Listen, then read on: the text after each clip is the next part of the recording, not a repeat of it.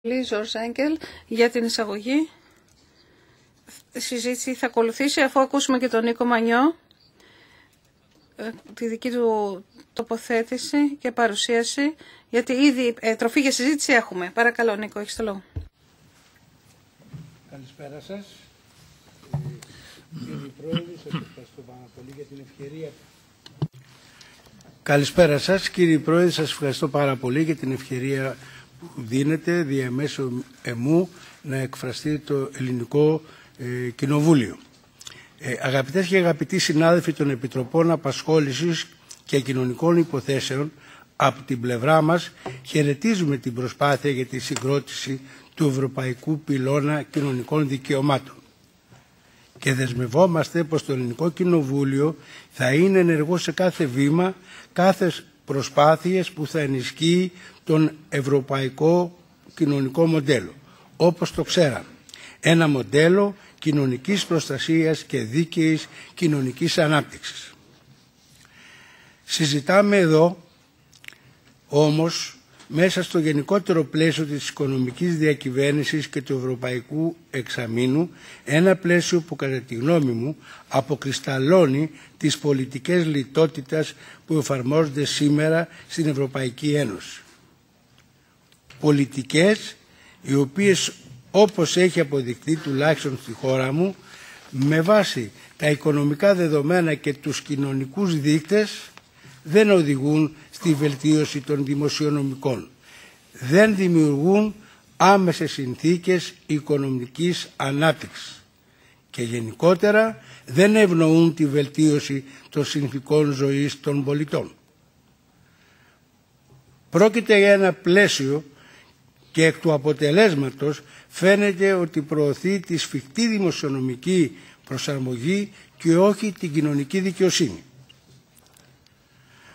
Παρόλα αυτά η Ελλάδα όπως και κάθε άλλο κράτος μέλος λόγω των συμβατικών υποχρεώσεων που απορρέουν από τη συμμετοχή στην Ευρωπαϊκή Ένωση αλλά και από τη συμφωνία που έχει υπογράψει με τους θεσμούς επιχειρεί να διαχειριστεί τις πολιτικές αυτές και να λειτουργήσει μέσα σε αυτό το πλαίσιο προσπαθώντας όσο περισσότερο μπορεί να δημιουργήσει ένα δίκτυ κοινωνικής προστασίας.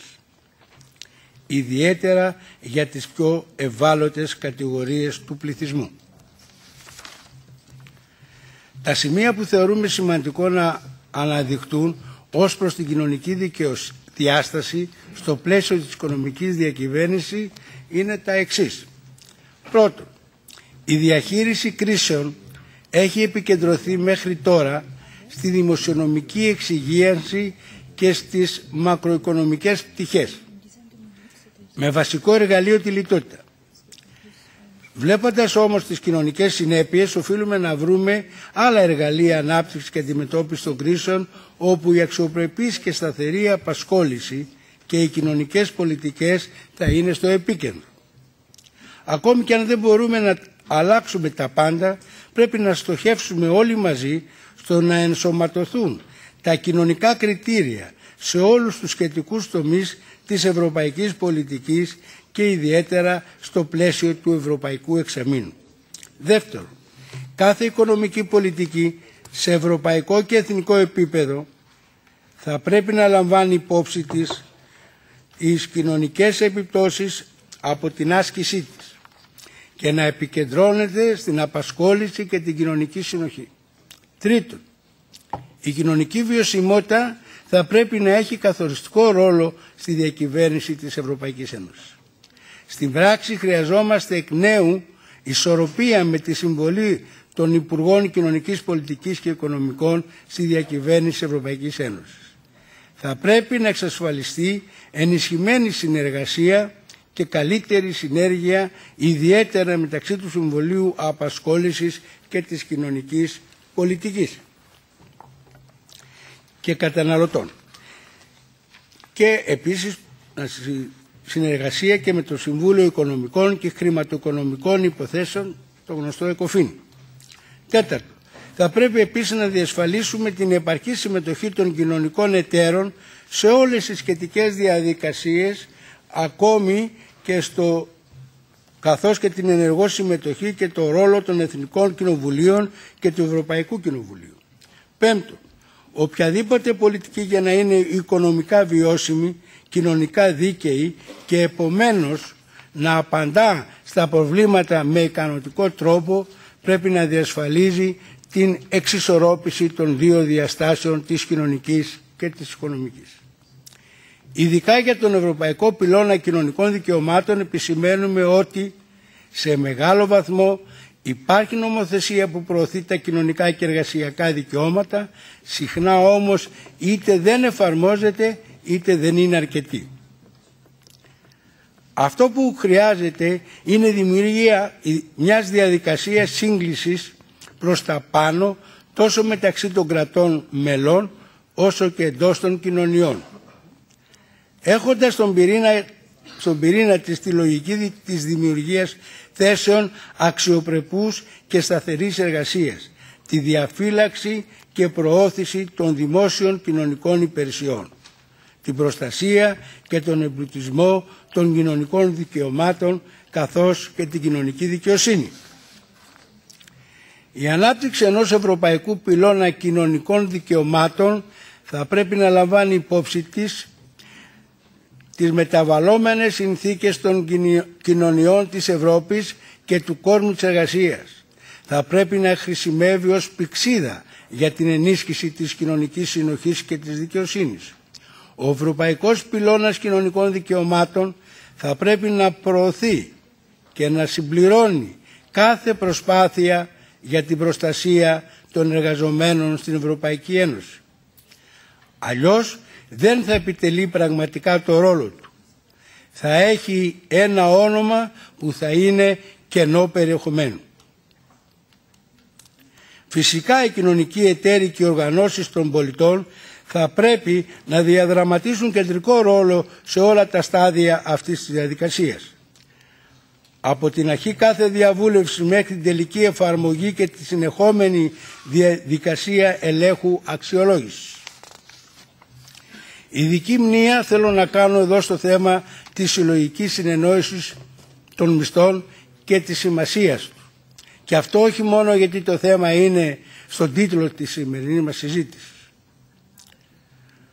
Όλες και όλοι εδώ γνωρίζουμε τους δίκαιους αγώνες που έχουν δοθεί τους τελευταίους αιώνες στην Ήπειρό μας αλλά και αλλού στον κόσμο για να καθερωθεί το δικαίωμα στις συλλογικές διαπραγματεύσεις και στις συλλογικές συμβάσεις. Είχαμε καταφέρει ως Ευρώπη αυτό το δικαίωμα να θεωρείται ως βασικό και αυτονόητο. Δυστυχώς όμως σήμερα δεν ισχύει αυτό για όλα τα κράτη-μέλη. Δεν υπάρχει λοιπόν ισοτιμία και ισονομία ανάμεσα σε όλους τους εργαζόμενους της Ένωσης. Το δικαίωμα στις συλλογικές διαπραγματεύσεις έχει καταργηθεί εδώ και κάποια χρόνια στη χώρα μου μέσα από τις πιέσεις της Τρόικα ακόμα και παρά τη σκληρή μάχη που εξακολουθεί να δίνει η σημερινή κυβέρνηση δεν έχει αποκατασταθεί λόγω της στεναρής αντίθεσης των θεσμών. Η επαναφορά των συλλογικών συμβάσεων είναι όμως μια βασική δέσμευση της ελληνικής κυβέρνησης προς τον ελληνικό λαό και πιστεύω πως θα πραγματοποιηθεί στους επόμενους μήνες.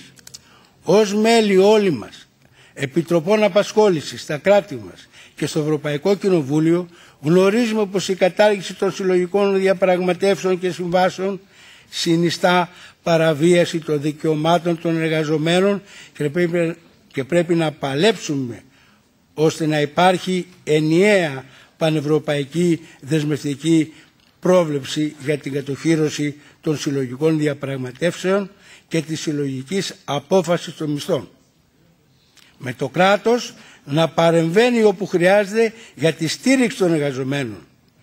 Δεν μπορεί να υπάρξει ευρωπαϊκός πυλώνας κοινωνικών δικαιωμάτων με τέτοιου είδους παραλήψεις ή με δυνατότητα εξαιρέσεων κρατών μελών από την εφαρμογή τους.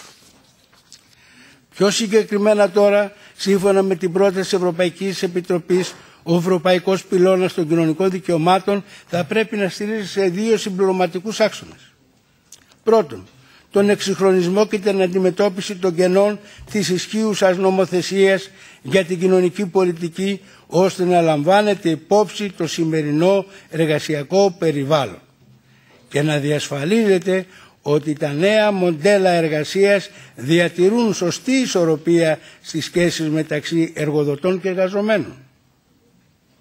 Εδώ οφείλουμε να προσθέσουμε ως Εθνικά και Ευρωπαϊκό Κοινοβούλιο πως δεν μπορούμε να τηρούμε μια στάση ίσων αποστάσεων.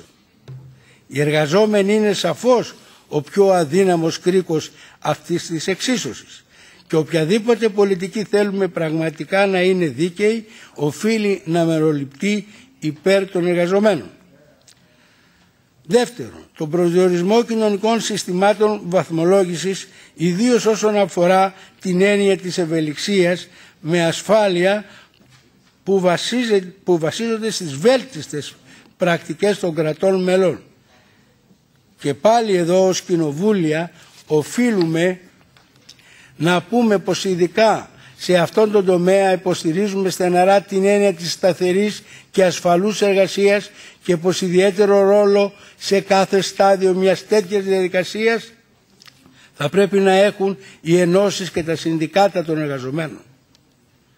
Βασικός σκοπός των όποιων κοινωνικών συστημάτων αξιολόγησης θα πρέπει να είναι η εθνική και ευρωπαϊκή κοινωνική συνοχή, η αποφυγή κάθε είδους κοινωνικού ντάμπινγκ και η ανωδική σύγκληση όσον αφορά την ένομη λειτουργία της αγοράς εργασίας και την κοινωνική προστασία των εργαζομένων. Αναφορικά με τον προσδιορισμό των κοινωνικών κριτηρίων ως παραδείγμα της αναφέρω πως θα μπορούσαμε να έχουμε τους δείκτες ανεργίας, το μορφωτικό επίπεδο, τη διαθεσιμότητα της φροντίδας των παιδιών, τη φορολογική επιβάρηση της εργασίας μιας και έχουν αποδειχθεί ότι σχετίζονται με τα επίπεδα της απασχόλησης. Φυσικά ο όποιος προσδιορισμός θα πρέπει να γίνει από κοινού μεταξύ των πολιτικών φορέων με ενεργή συμμετοχή των ενώσεων των εργαζομένων.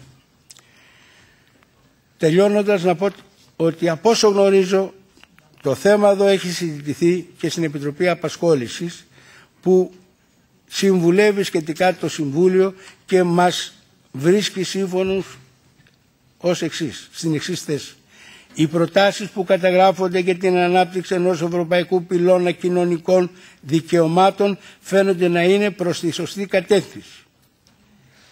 Αλλά θα πρέπει να μελετηθούν οι επιπτώσεις που έχουν προκύψει ήδη από την αλλαγή των σχέσεων εργασίας και από τις εφαρμοσμένες οικονομικές πολιτικές. Η επιμονή σε περιοριστικές πολιτικές που έχουν στόχο τη δημοσιονομική προσαρμογή με τα μέχρι τώρα αποτελέσματά τους αποδεικνύονται, αποδεικνύονται ότι κινούνται σε αντίθετη κατεύθυνση από τους στόχους των προτάσεων της Ευρωπαϊκής Επιτροπής. Οι προτάσεις αυτές θα είναι χρήσιμες και θα φανούν ωφέλιμες αν διασφαλίζουν το δικαίωμα της υγείας, της παιδείας, της εργασίας και κατοικίας στους πολίτες κάθε κράτους μέλους. Εδώ επιτρέψτε μου να προσθέσω πως ειδική σημασία θα πρέπει να δοθεί σε στόχους που ενισχύουν τα παιδιά, τους νέους, τις εργαζόμενες μητέρες και τους ηλικιωμένους με συγκεκριμένα εφαρμόσιμα και χρηματοδοτούμενα μέτρα και όχι απλώς με υποδείξεις και αναλύσεις μιας και είναι οι πρώτοι που βάλλονται σε περιόδους κρίσης. Τέλος, δεν θα πρέπει να ξεχνάμε πως τα κοινωνικά δικαιώματα είναι πανανθρώπινα και μας αφορούν όλες και όλους. Δεν θα υπάρξει πυλώνας κοινωνικών δικαιωμάτων αν δεν είναι συνολικός, αν δεν, δεν αφορά και δεν εφαρμόζεται για όλες και όλους όσους ζούμε στην Ευρωπαϊκή Ένωση. Ασχέτως της υπηκότητάς μας, της καταγωγής μας, του φίλου μας και του σεξουαλικού μας προσανατολισμού, των θρησκευτικών ή άλλων πεπιθήσεών μας. Σας ευχαριστώ πάρα πολύ για την προσοχή σας και ελπίζω στην καλή συνεργασία όλων μας και ότι δεν καταχράστηκα τον χρόνο. Κύριε Πρόεδρε.